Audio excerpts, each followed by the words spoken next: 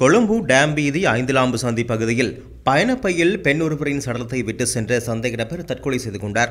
இதனை அடுத்து மேற்கொள்ளப்பட்ட விசாரணையில் சடலமாக மீட்கப்பட்ட பெண் குருவிட்ட பகுதியைச் சேர்ந்த முப்பது வயது மதிக்கத்தக்கவர் என்று போலீஸ் ஊடக பேச்சாளரும் பிரதி போலீஸ் மா அதிபருமான அஜித் ரோஹன தெரிவித்துள்ளார்.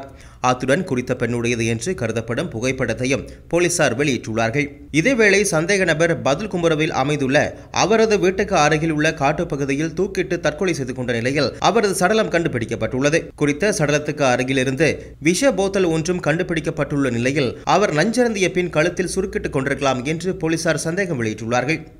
ஐம்பத்தி இரண்டு வயது மதிக்கத்தக்க சந்தேக நபர் புத்தள போலீஸ் நிலையத்தில் கடுமையாற்றி விடுமுறையில் சென்றிருந்த உப போலீஸ் பரிசோதகர் என்று தெரியவந்துள்ளது.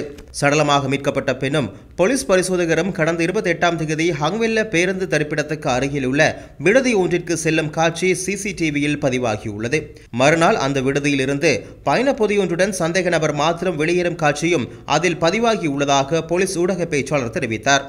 இதனை அடுத்து சந்தேக நபர் ஹங்விலையில் இருந்து புறக்கோட்டைக்கு பயணிக்கும் பேருந்து ஒன்றில் ஏறும் காட்சியும் தமக்கு கிடைக்கப்பெற்றுள்ளதாக அவர் குறிப்பிட்டார்.